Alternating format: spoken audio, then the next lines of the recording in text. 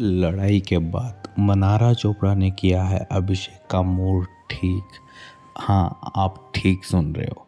मुनावर फारूकी, अंकिता, सब लोग जो है अगेंस्ट हो गए अभिषेक के स्पेशली वो थप्पड़ वाली बात को लेकर।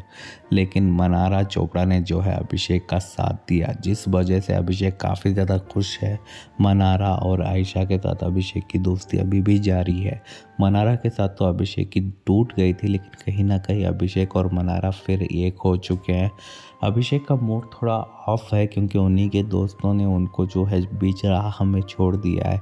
लेकिन मुनावर फारूक यहाँ गलत नहीं है, क्योंकि मुनावर जो है हमेशा सही का साथ देते हैं और इस बार भी उन्होंने वही किया है। मुनावर ने यहाँ पर भी सही का साथ दिया है, क्योंकि थप्पड़ मारना गलत है। लेकिन एक चीज़ यहाँ पर देखनी थी कि प्रोवोकेशन काफ़ी ज़्यादा। चिंटू ने हदें पार कर दी थी जहाँ बंदे को कंट्रोल ही नहीं होता। इसी वजह से बिग बॉस ने जो है, अभिषेक को सिर्फ़ थोड़ा सा डंडिया ऐसा नहीं कि निष्कासित कर दिया है। लेकिन मनारा अभिषेक के साथ खड़ी रही, जिस वजह से अभिषेक खुश है।